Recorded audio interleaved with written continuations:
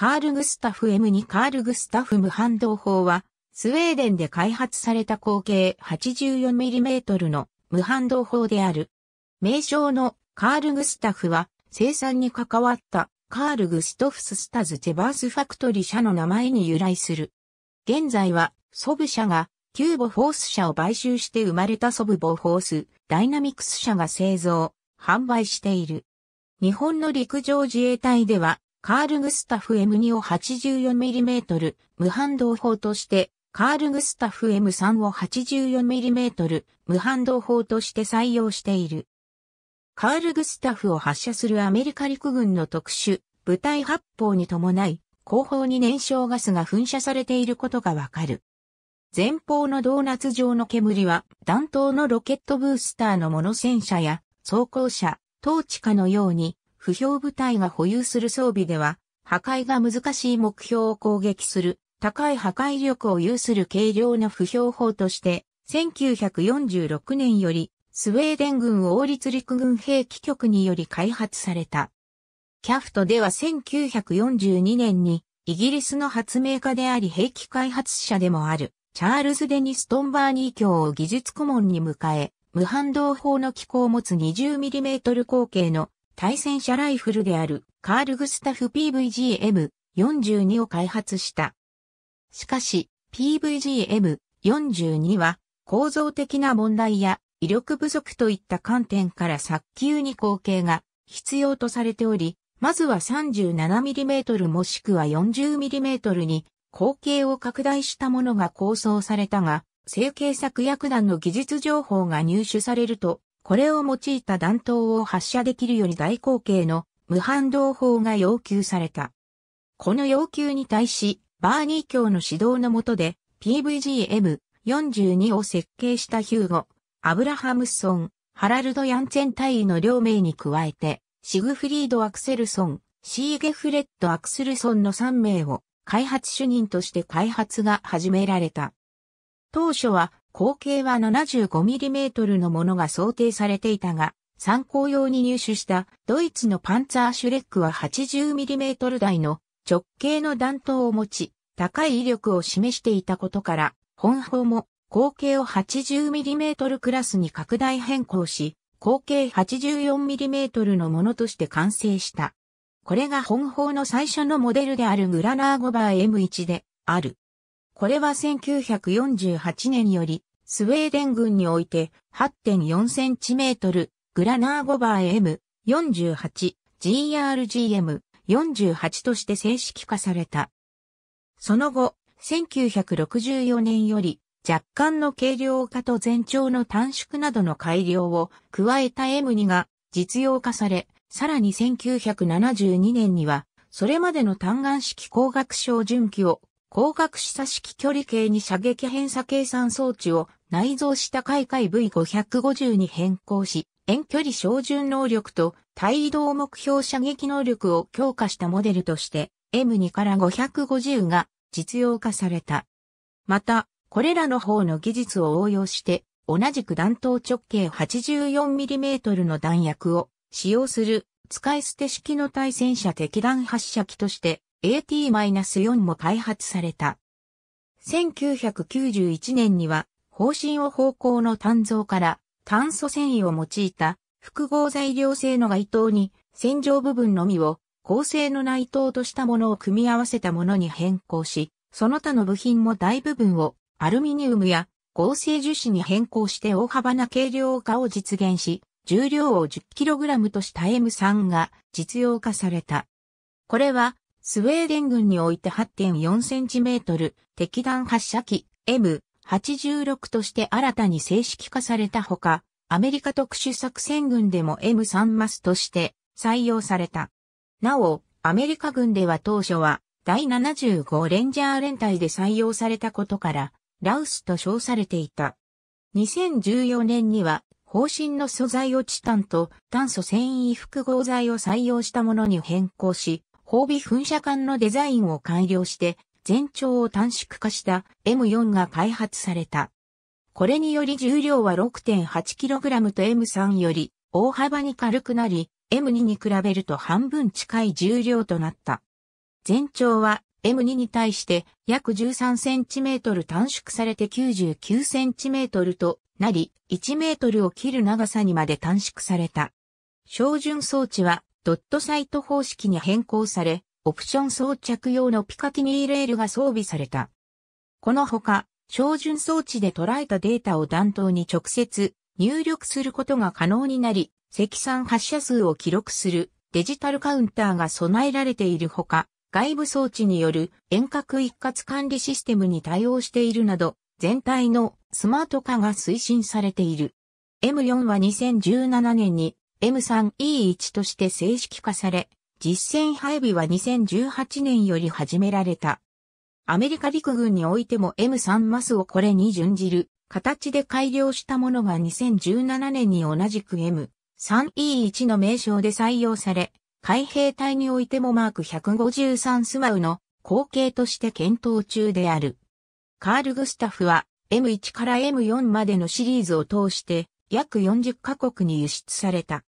このうちイギリス海兵隊の装備法は、フォークランド紛争の初戦段階におけるグリトビ県の戦いに際し、アルゼンチン海軍のコルベット、ゲリコに対し、命中弾を与え、これを中破させる戦果を挙げている。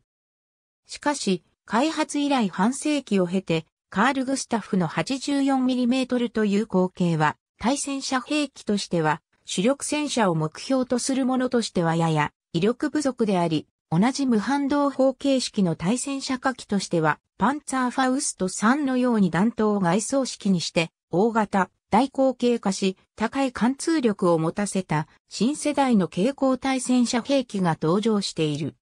本砲も口径を 100mm 台に拡大した発展型が構想されたことがあったが、個人で肩単するのが困難な重量となるために断念された。1982年には外装式のロケット補助推進式大型弾頭を用いて走行貫通力を路換算で 900mm に向上させた開会 V597 も開発されたが、相談に時間がかかる上、装填時の総重量が重くなりすぎるとして採用されずに終わっている。対装甲兵器としては有効性が低下したとされたことから、ドイツやオーストリアではカール・グスタフを照明弾を使った戦場照明機材として運用するようになり、名称も照明弾発射塔へと変更された。とはいえ、要因に多種多様の弾薬を運用できる点では、カール・グスタフのような内部相談式の傾向下方には大きな利点があり、度重なる改良によって大幅な軽量化と全長の短縮化がなされたこともあり、本法も前述のアメリカ軍や後日の陸上自衛隊における例のように、蛍光体戦車兵器から蛍光多用途発射装置へと分類を変更されて、今後もしばらくは世界各国で運用が継続されていく模様である。